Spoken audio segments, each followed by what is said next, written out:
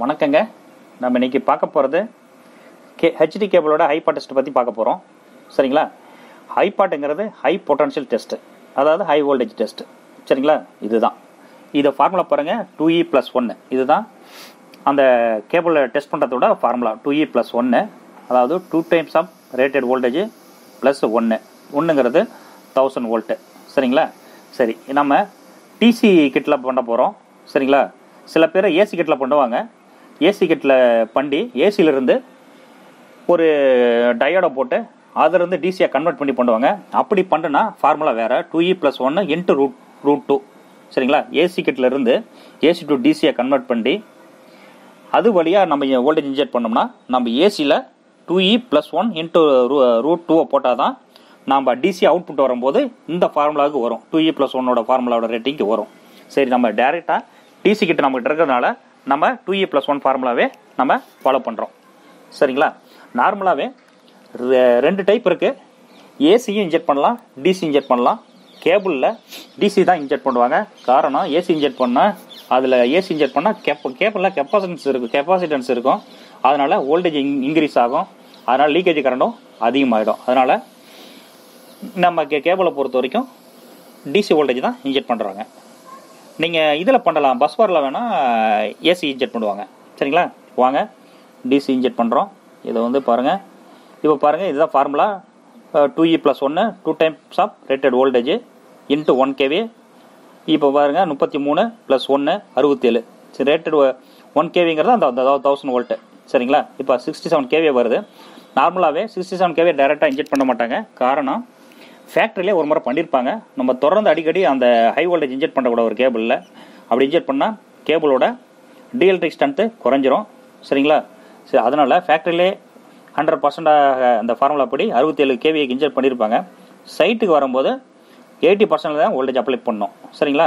அதே மாதிரி ஒரு ஃபைவ் இயர்ஸ் கழிச்சு அதே கேபிளை நான் இன்ஜெக்ட் பண்ணும்போது கேபிளை high voltage high part test பண்ணும்போது அந்த எயிட்டி பர்சன்ட் பண்ணக்கூடாது சிக்ஸ்டி பர்சன்ட் தான் பண்ணணும். ஆல்ரெடி ஃபைவ் இயர்ஸ் அந்த கேபிள் லைஃப்பில் லைஃப்பில் இருக்கிறதுனால அதாவது ஒர்க்கிங்கில் இருக்கிறதுனால அதனோட லைஃப் கொஞ்சம் குறைஞ்சிருக்கும். ஸோ அதனால் நம்ம எயிட்டி பர்சன்ட் பண்ணக்கூடாது. பண்ணுனா கேபிள் ஃபெயிலியர் ஆகிறது சான்சஸ் அதிகம்.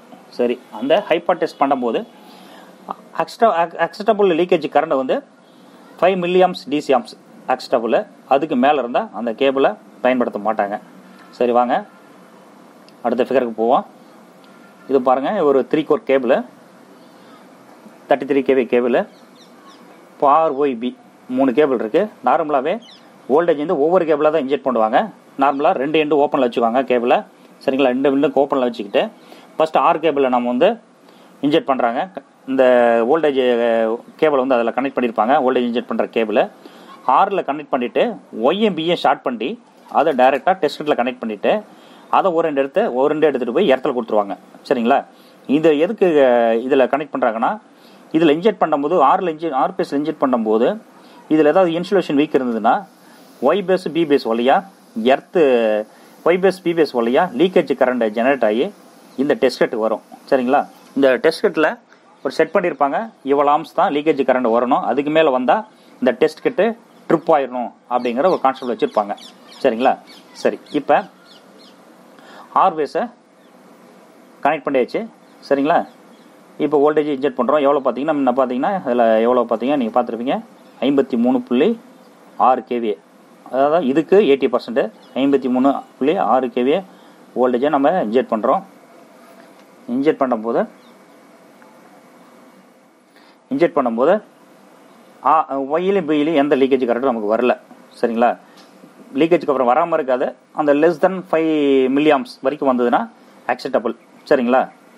சிலது இதில் பார்த்தீங்கன்னா டெஸ்ட் கிட்டில் வந்து ஒரு டென் மில்லியாம்ஸ் வந்தால் ட்ரிப்பிங் மாதிரி செட் பண்ணியிருப்பாங்க. சரிங்களா? டென் மில்லியாம்ஸ் வந்துச்சுன்னா நம்ம பொறுத்து தான். நம்ம எவ்வளோ வேணால் செட் பண்ணிக்கலாம். டென் பண்ணலாம். ஃபிஃப்டீன் பண்ணலாம். எவ்வளோ பண்ணலாம். இந்த test கிட்டில் for example ten milliamps set பண்ணிட்டேன். இந்த லீக்கேஜ் ஒருவேளை லீக்கேஜ் கரண்ட் வந்து டென் மில்லியாம்ஸ் வந்துச்சுங்களேன் டெஸ்ட் கிட் ட்ரிப் ஆயிரும். இது போகிற வோல்டேஜ் ஆஃப் ஆகிடும் சரிங்களா? சரி. அது இப்போ வேணாம்.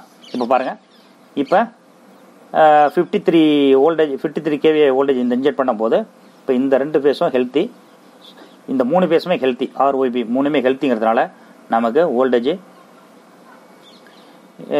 இந்த வழியாக வந்து கரண்ட் எதுவும் லீக்கேஜ் ஆகலை. சரிங்களா? சரி இப்போ இதை டிஸ்கனெக்ட் பண்ணிவிட்டு ஒயில் கொடுக்குறோம். ஒயில் கொடுக்கும்போது இந்த ரெண்டு கேபிளையும் ஷார்ட் பண்ணிக்கணும்.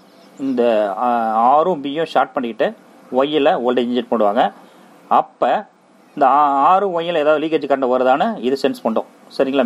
இந்த டெஸ்ட் கிட் சென்ஸ் பண்ணிட்டோம். அப்புறம் அது ஓகேன்னு பின்னாடி பி பேஸில் கனெக்ட் பண்ணுவாங்க. அப்போ ஆறு ஒய்யும் ஷார்ட் பண்ணிக்கிட்டு பி பேஸில் இந்த சப்ளை கனெக்ட் பண்ணுவாங்க. அப்போ ஏதாவது லீக்கேஜ் கரண்ட் வருதான்னு இந்த மீட்டரை சென்ஸ் பண்ணிட்டோம் ஸோ ஃபைவ் மில்லி ஆம்ஸ் வரைக்கும் டிசி ஆம்ஸ் வரைக்கும் அக்செப்டபிள் சரி. இப்போ நான் அடுத்த கேபிள் இன்னொரு கேபிள் பண்ணுறேன் பாருங்கள் இந்த கேபிள் பண்ணும்போது ஒரு வோல்டேஜ் இன்ஜெக்ட் பண்ணுறேன் ஐம்பத்தி மூணு கேவி இன்ஜெக்ட் பண்ணுறேன் எனக்கு இங்கே இன்சுலேஷன் கொஞ்சம் வீக்கு சரிங்களா? இங்கே இன்சுலேஷன் வீக்கும் போது இங்கே போகிற வோல்டேஜ் இது வழியாக ஸ்பார்க் ஆகி இந்த பி பே ஒய் பேஸ் வழியாக எனக்கு லீக்கேஜ் கரண்ட் ஃப்ளோ ஆகுது. சரிங்களா? பாருங்கள் லீக்கேஜ் கரண்ட் ஃப்ளோ ஆகுது எனக்கு. சரிங்களா? இங்கே பாருங்கள் இதில் இன்ஜெக்ட் இந்த வழியாக இன்ஜெக்ட் ஆர் பேஸ் இன்ஜெக்ட் பண்ணுறேன் சரிங்களா? ஒய் பேஸ் வழியாக லீக்கேஜ் கரண்ட் எனக்கு ஃப்ளோ ஆகி இந்த கேபிளுக்கு வருது இந்த டெஸ்ட் கிட்டுக்கு வருது. ஸோ மோர் தென் எனக்கு ஃபைவ் மில்லியாம்ஸ் வந்துரு வருதுன்னா இந்த கேபிளை நான் யூஸ் பண்ண மாட்டேன். இந்த கேபிளை நான் யூஸ் பண்ண மாட்டேன். நான் வேறு கேபிளை தான் போகணும். சரி பாருங்கள் இன்னொரு ஃபிகர் பாருங்கள் இதை பார்த்தா உங்களுக்கு புரியும். பாருங்கள் இதுதான். பாருங்கள் இதை பார்த்தது புரியும். இப்போ ரெண்டு கேபிள் இந்த ஒய் கேபிள் பி கேபிள் உள்ளுக்குள்ளே ஒரு இன்சுலேஷன் ஃபெயிலியரு பட் அப்படி இங்கே வோல்டேஜ் இன்ஜெக்ட் பண்ணும்போது பாருங்கள் இதில் ஒரு ஸ்பார்க் உருவாகுது. இந்த ஸ்பார்க் உருவாகி லீக்கேஜ் கரண்ட்டு நமக்கு வருது. அதுதான். சரிங்களா? இப்போ லீக்கேஜ் கரண்ட்டை வந்து நமக்கு நம்ம அந்த மினிமம் லீக்கேஜ் கரண்ட்டாக அக்செப்டபிள் ஃபைவ் மில்லியாம்ஸு இல்லை அதுக்கு மேலே கே கேபிளை ரீப்ளேஸ் பண்ணோம் பாருங்கள் இந்த வீடியோ உங்களுக்கு பிடிச்சிருக்குன்னு நினைக்கிறேன். இதுதான் ஹெச்டி கேபிளோட ஹைப்பர் டெஸ்ட்டு சரி இந்த வீடியோ பிடிச்சிருந்தா லைக் பண்ணுங்கள் சப்ஸ்கிரைப் பண்ணுங்கள்